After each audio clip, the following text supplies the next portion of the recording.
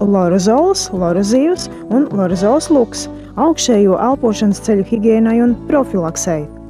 Deguna higiēnas eļļa, deguna dobuma un aizdeguns gļotādes higiēnai, kopšanai, attīrīšanai un iekaisuma profilaksē lorozols satur propolisu, dižegļu un eikaliptu eļļas, skuju chlorofila, karatīnu pastu un kliņģerīšu tinktūru. Lorozīvs ir ziedi, deguna un mutes dobuma, deguna un aizdeguns gļotādes higiēnai, kopšanai, attīrīšanai un iekaisuma profilaksei. Lorozīvs satur propolisu, dižegļu eļļu, mumiju, mentolu un kliņģerīšu tinktūru.